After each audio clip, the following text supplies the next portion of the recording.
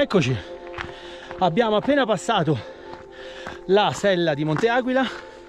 Come avete visto, siamo praticamente sull'affaccio di tutta la Valle Pericoli. Siamo sul sentiero 103 adesso, che ci porterà sulla sella del Brecciaio, che potete vedere proprio dietro alle mie spalle. Questa parte del sentiero è molto camminabile. Ricordatevi che nel sentiero estivo che vi fa uscire sulla sella di Monte Aquila c'è un tratto dove bisogna anche poggiare un po' le mani, niente di particolare, solo un filo di attenzione e poi ci aspetta questi quarto d'ora, 20 minuti di camminata molto easy per poi fare lo strappettino che ci porta in sella al brecciaio. Ci vediamo più avanti.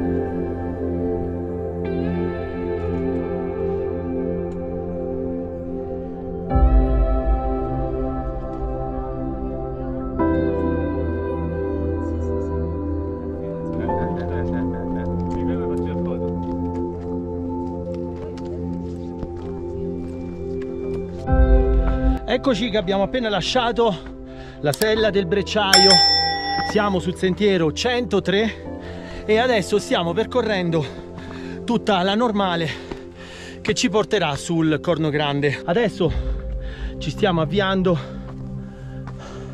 sul sentiero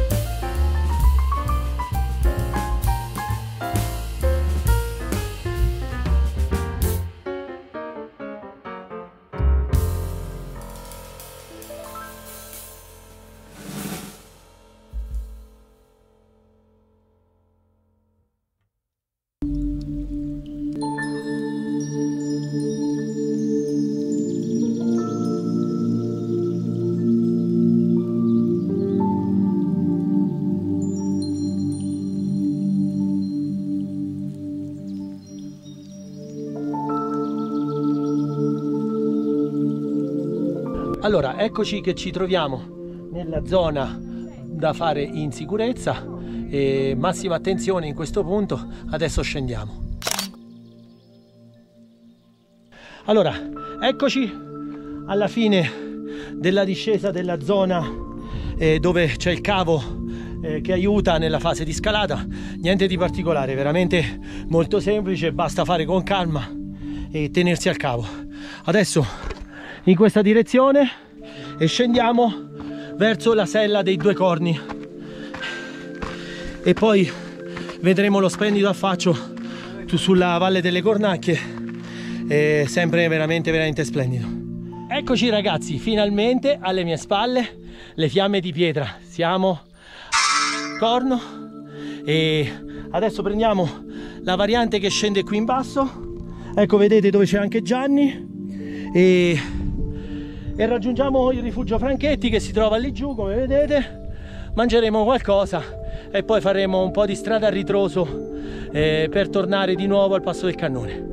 Adesso scendiamo